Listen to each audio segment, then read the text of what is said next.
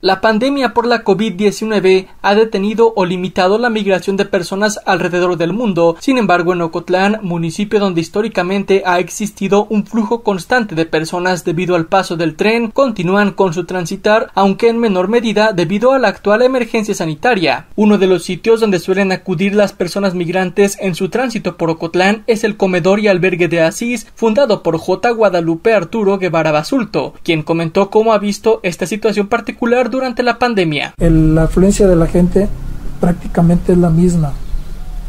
Aquí en el comedor también tenemos temporadas. Hemos llegado a tener arriba de veintitantas personas en una misma noche. Entonces son, situaciones que no, no tienen que ver con nosotros, son situaciones de fuera.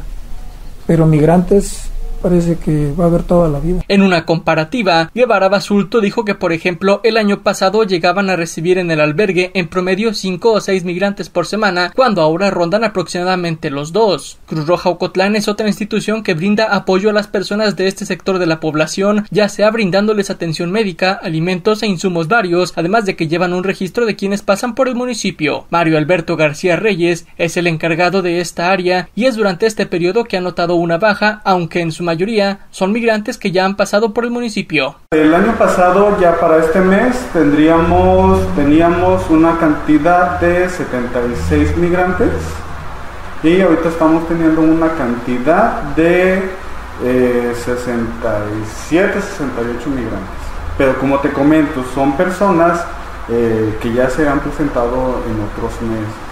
Estos sitios donde se brinda atención a las personas migrantes se han preparado para mitigar los riesgos de contagio por el nuevo coronavirus SARS-CoV-2, al menos durante su estancia con ellos, además de brindarles información para que se protejan una vez salgan, ya que según Guevara Basulto del comedor y albergue de Asís, muchas veces no cuentan con el uso de medidas auxiliares de protección como el cubrebocas. Pero la mayoría de los que llegan no tienen cubrebocas, no tienen cuidados.